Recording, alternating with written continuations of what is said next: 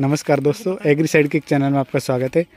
मैं पहले भी आपको रिपर बाइंडर की वीडियो डाला था तो अब मैं थोड़ा सा इसमें बता नहीं पाया था। उस टाइम तो मैं सिर्फ़ टेक्नोलॉजी दिखा पा रहा था कि जो छोटे एरियाज़ हैं, उनमें भी ये इस तरीके के करते हैं। करते हैं बहुत जगह, नया नहीं है, लेकिन अलवर में इस तरीके से अब करने लग गए हैं।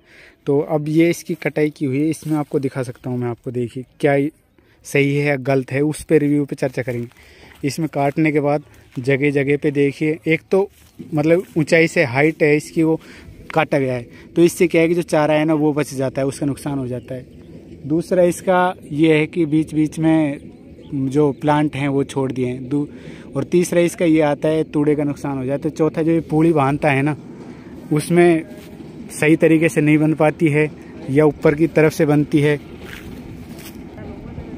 और इसके बाद पूलियाँ बन जाती है ये अभी क्या है कि नाइलॉन टाइप की जो रस्सी है, उससे बनती है।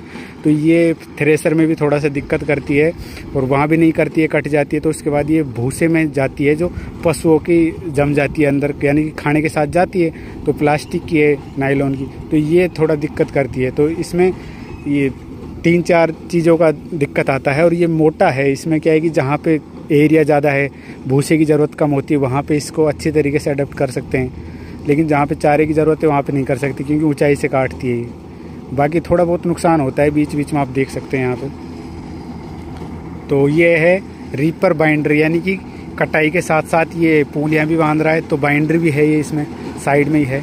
अब देखिए, आ रहा है, ट्रैक्टर मैं आपको उसमें दिखाऊँगा।